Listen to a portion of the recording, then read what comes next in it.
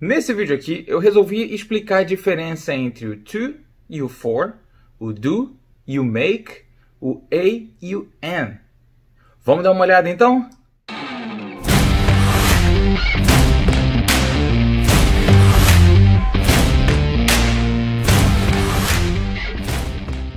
E aí pessoal, bem-vindo de volta a Nova Tips. Eu sou Léo Nova e no vídeo de hoje eu resolvi juntar um pouquinho daquelas dúvidas que deixam a gente numa confusão danada, né? Mas antes de começar, já queria pedir para você deixar aquele like aqui no vídeo, se inscreve no canal se você ainda não tiver inscrito e compartilha com seus amigos. Esse material aqui pode ser bem importante para outras pessoas. Então, por que não compartilhar, né?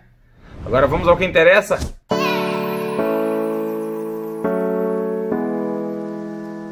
A dúvida entre o to e o for é muito comum, porque ambas palavras significam para em português. Você vai usar o to quando a ideia for de movimento. Exemplo: I'm going to Brazil. Eu tô saindo de onde eu tô e tô indo para outro lugar. Existe um movimento aqui. I'll send this package to you. O pacote vai sair daqui de onde eu tô e vai aí para onde você está. Movimento. E o for vai ser usado quando o para for no sentido de propósito, alguma finalidade. Por exemplo, This movie was made for kids.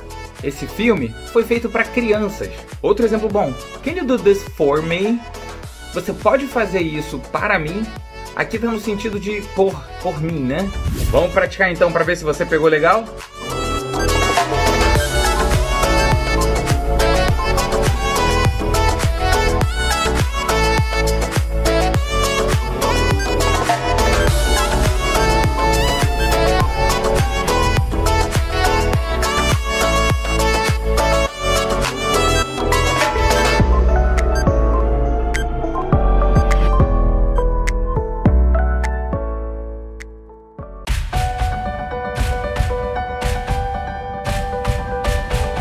Tanto o make quanto o do têm o mesmo sentido, ambos querem dizer fazer.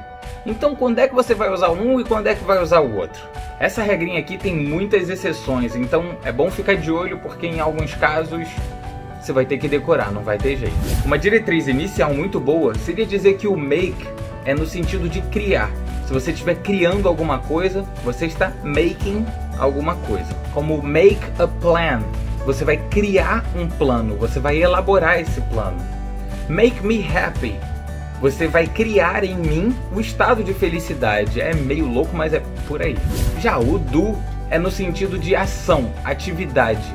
Do the homework. Você até pode usar o make the homework, mas só se no caso você fosse o professor criando o dever de casa.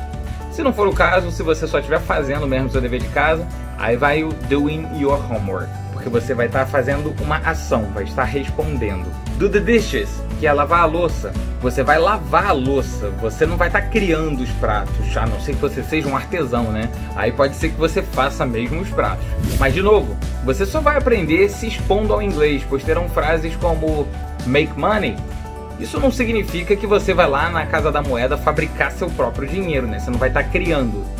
Mas até aqui ainda faz um pouco de sentido, porque você vai construir riqueza e por isso você vai make money. Vamos ver como é que isso fica com alguns exercícios?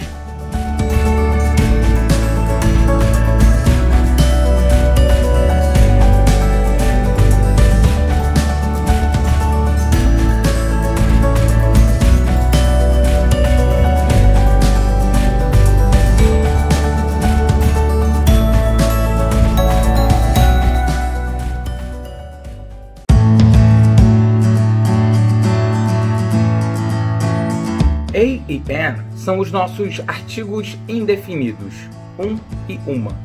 Só que diferente do português, um não é no feminino e o outro no masculino não. A diferença entre o a e o an é mais simples. Só vai depender se a palavra que acompanha esse artigo começa com um som de vogal ou com um som de consoante. Se a palavra começar com som de vogal, você vai usar o an. E se for com som de consoante, você vai usar o a ou a. Em cada estado a pronúncia é um pouco diferente. Depois de vermos alguns exemplos aqui, você vai ver que soa muito mais naturalmente. É bem fácil pegar o uso de cada uma delas.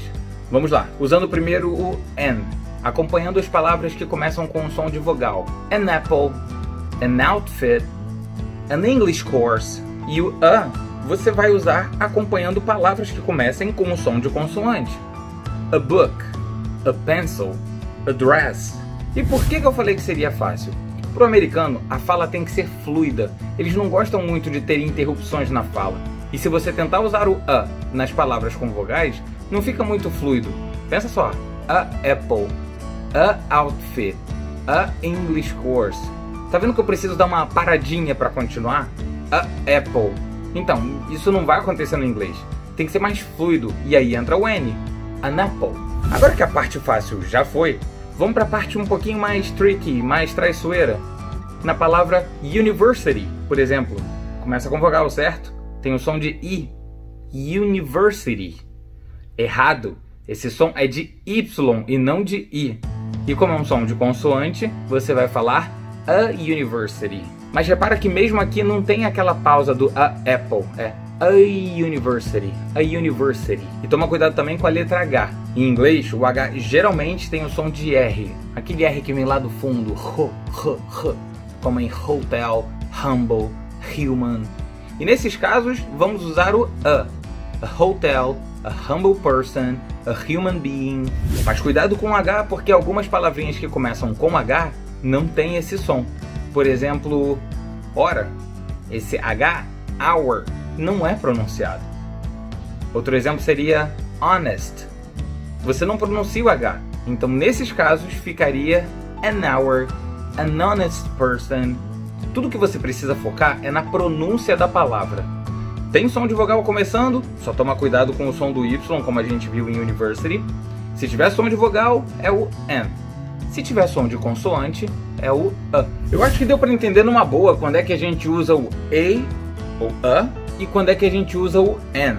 Então, que tal dar uma praticada agora? Vamos lá?